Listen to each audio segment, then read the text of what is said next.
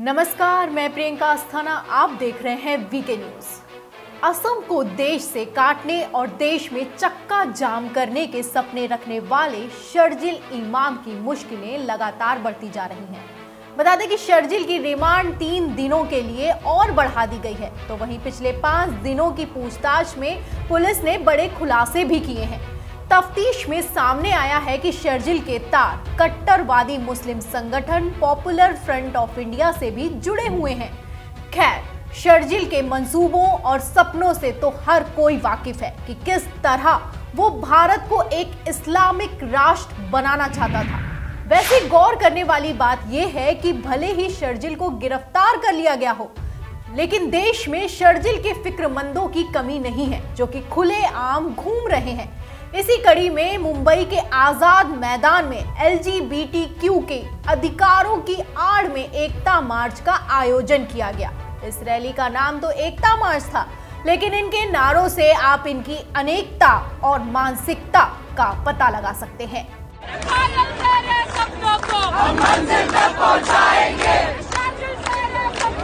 हम मंजिल तक पहुंचाएँगे हम मंजिल तक पहुंचाएँगे हम मंजिल तक पहुंचाएँगे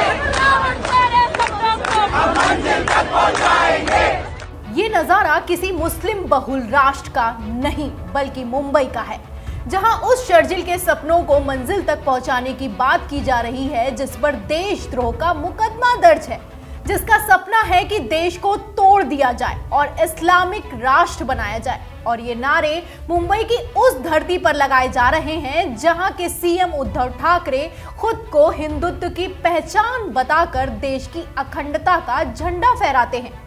बता दें कि इस मार्च का वीडियो वायरल होने पर बीजेपी नेता और महाराष्ट्र के पूर्व मुख्यमंत्री देवेंद्र फडणवीस ने शिवसेना पर निशाना साधते हुए कहा कि अगर शिवसेना सरकार में नहीं होती और एनसीपी कांग्रेस के साथ सरकार नहीं बनाई होती, तब भी क्या वे ऐसे देशद्रोही नारे मुंबई की धरती पर बर्दाश्त करते?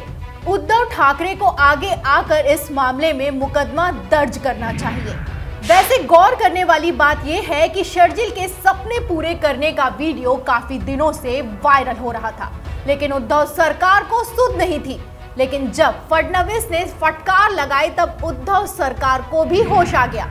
और राष्ट्र विरोधी नारे लगाने को लेकर मुंबई पुलिस ने सोमवार को सामाजिक कार्यकर्ता उर्वशी चूड़ावाला समेत 50 लोगों पर देशद्रोह का मामला दर्ज किया है। बता दें कि उर्वशी चूड़ावाला खुद को सामाजिक कार्यकर्ता के तौर पर पेश करती हैं, लेकिन उनका सपना शर्जिल के सपनों को पूरा करना है।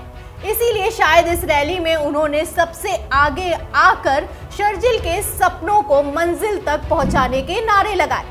खैर ये मुंबई की बदलती तस्वीर है जहाँ के सीएम उद्धव का कहना है कि हमने कांग्रेस और एनसीपी का हाथ भले ही थामा हो लेकिन हमने हिंदुत्व को कभी नहीं छोड़ा। भले ही उन्होंने हिंदुत्व को नहीं छोड़ा हो, लेकिन शायद उद्धव ने कांग्रेस और एनसीपी के दबाव में उन लोगों को ज़रूर खुलेआम छोड़ दिया है, जिनमें मुंबई की धरती पर शर्जिल के सपने पूरे करने की ललकार लगाने की हिम्मत आ गई है। इस खबर पर आपकी क्या राय है, हमें कमेंट बॉक्स में बताइए। वीडियो पसंद आया हो तो लाइक करें, शेयर करें, साथ ही हमारे चैनल को यूट्यूब पर सब्सक्राइब करें।